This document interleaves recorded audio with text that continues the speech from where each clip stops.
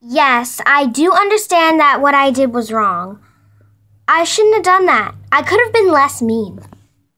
You couldn't have been mean at all. Right. Sorry. That's just how I am. Well, you need to stop being like that because you can really hurt people. Well, I thought it was. Sorry.